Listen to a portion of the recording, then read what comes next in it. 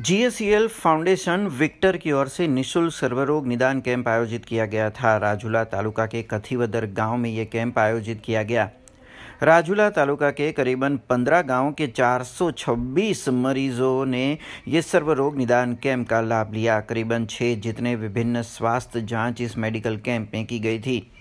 GSL foundation की ओर से गरीब नागरिकों के लिए यह आयोजन किया गया था। इस कैंप में कथिवदर ग्राम पंचायत के सरपंच समेत सदस्य और कई एक्सपर्ट डॉक्टरों की टीम वहाँ पर उपस्थित रही थी।